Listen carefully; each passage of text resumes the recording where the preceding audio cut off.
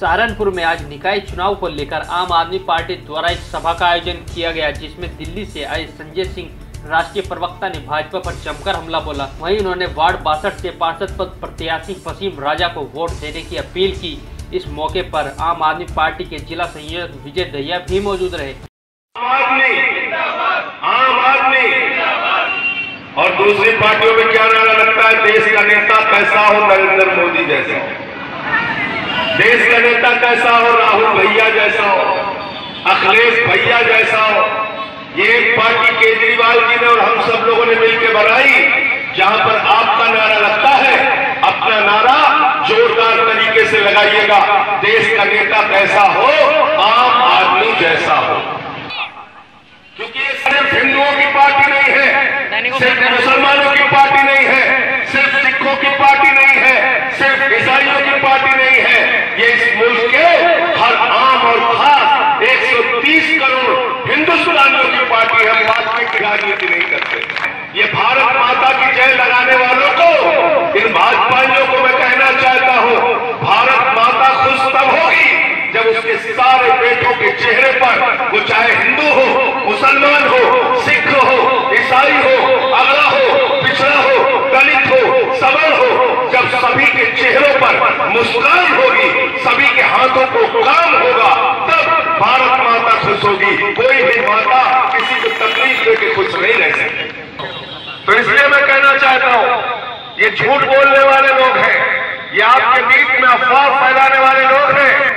देश के लोगों को नोटबंदी के नाम पर तबाह कर दिया, व्यापारी लुट गया, मजदूर लुट गया, नौजवान लुट गया हर आदमी बर्बाद हो गया और नोटबंदी लागू करके तुगलकी फरमान जारी करके आप झूठ बोलने का काम करते हो।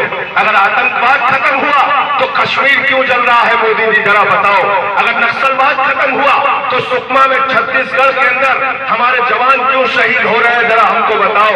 अगर काला धन खत्म हो गया तो अमित शाह का बेटा जय शाह सोलह हज़ार परसेंट मुनाफा कैसे कमाता है इसका जवाब दे दो। देश को गुमराह करने की कोशिश मत करो। कल नहीं कह रहे आम आदमी पार्टी नहीं कह रही है। अभी अमेरिका की एक मैगजीन ने खुलासा किया है। अमेरिका की मैगजीन है उसकी रिपोर्ट पढ़ लेना।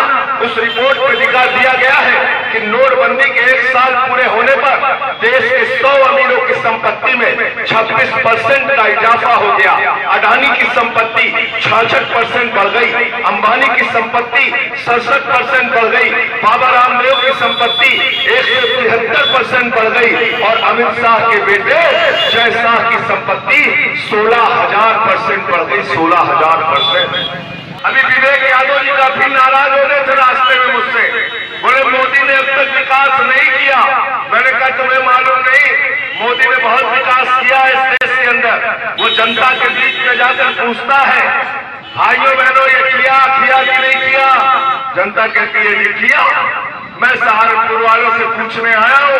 आप मेरी बात का जवाब, जैसे मोदी जी को देते हो, मेरी बात का भी जवाब दे लेना भाइयों, बहनों, बताओ, देश में अस्सी रुपए रुपये किलो प्याज बिकी कि नहीं बिकी? ज़ोर से बोलिए। टमाटर एक सौ बीस रुपए किलो बिका कि नहीं बिका?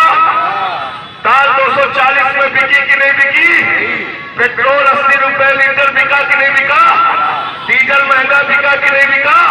गैस के सिलेंडर का विकास हुआ कि नहीं हुआ नफरत का विकास हुआ कि नहीं गुंडागर्दी का विकास हुआ कि नहीं हिंसा का विकास हुआ कि नहीं भाई से भाई को लड़ाने का विकास हुआ कि नहीं एक भाई और दूसरे भाई के बीच में दीवार खड़ी करने का विकास हुआ कि नहीं? विकास तो मोदी जी कर रहे हैं, आपको दिख नहीं रहा। है तो मैं मोदी के बारे में एक बात कहना चाहता हूँ। नरेंद्र मोदी जी के अंदर कोई काबिलियत हो ना हो, लेकिन अगर अंतर्राष्ट्रीय भाषण प्रतियोगिता करा दी जाए तो नंबर एक पर मोदी आएगा, दो नंबर पर नहीं आएगा। अभी उसके चेले बाबा योगी आ गए यूपी में।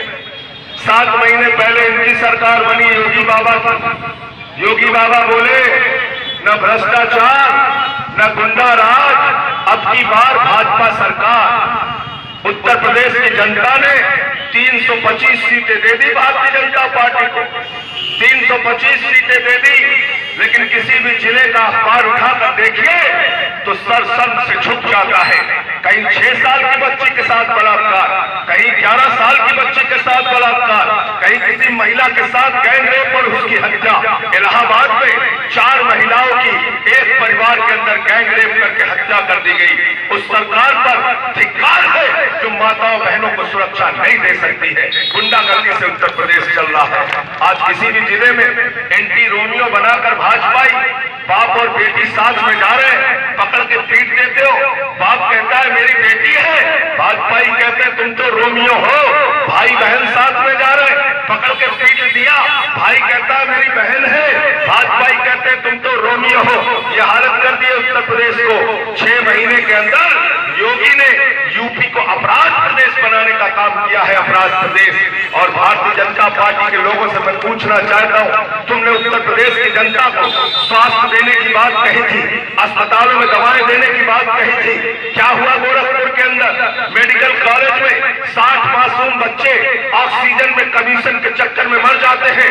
मौत का सिलसिला अब तक रुका नहीं है। चार महीनों में एक हज़ार से ज़्यादा मासूम बच्चों की मौत दिमागी बुखार से हो गई है।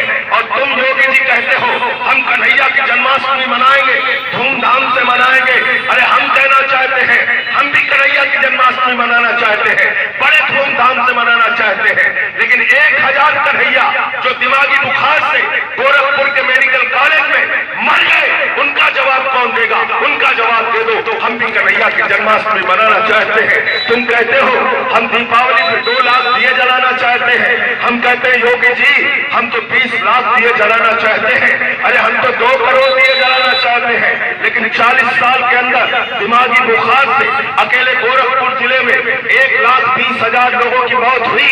उनके घरों के जो दिए बुझ गए, उसको जलाने का काम कौन करेगा? उनके घरों के दिए जला दो, हम दो करोड़ दिए हिंदू मुसलमान मिलकर पूरे हिंदुस्तान में जलाना चाहते हैं। तुम बेवकूफ़ी की बातें करते हो। तुम्हारा एक बददिमाग विधायक है, संगीत सोम वो कहता है, ताजमहल, जो दुनिया के दस आश्चर्य में शामिल है, ताजमहल, जो मोहब्बत का प्रतीक है।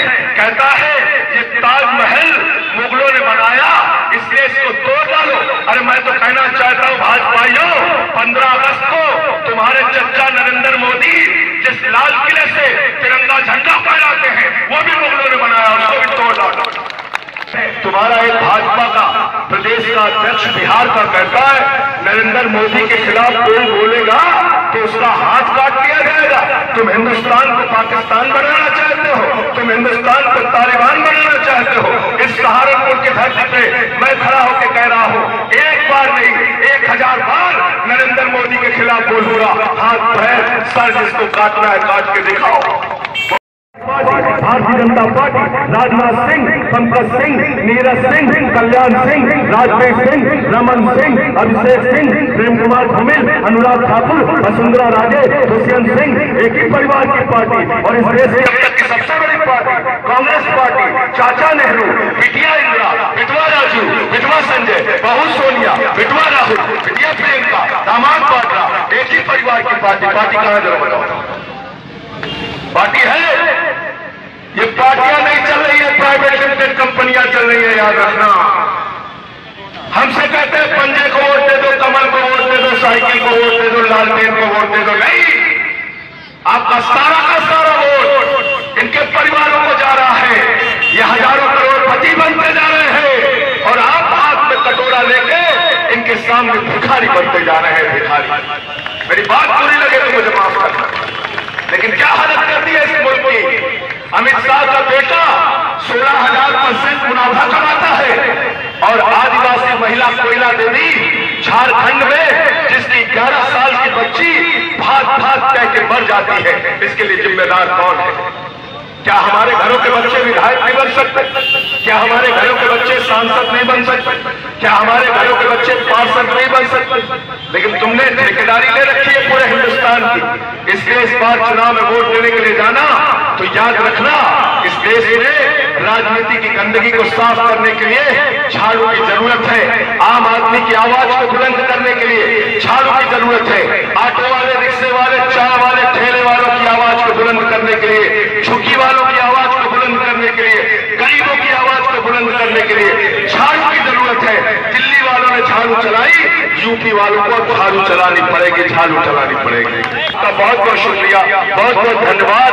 अंत में इन लाइनों के साथ कि ये अमन बिक रहा है, चमन बिक रहा है, गरीबों के तन का कफन बिक रहा है, बाजारों में राधा का तन बिक रहा है। यारो बुरा न मानो तो कह दो, इन बेईमानों के हाथों वतन बिक रहा है, इन बेईमानों के हाथों वतन बिक रहा है, इस वतन का सौदा करने वालों से, इस वतन को बचाने के लिए सहारनपुर के लोग साथ आएँगे, इसी विश्वास, इसी यकीन, इसी भरोसे के साथ मैं अपनी बात को समाप्त करूँगा। इनकलाब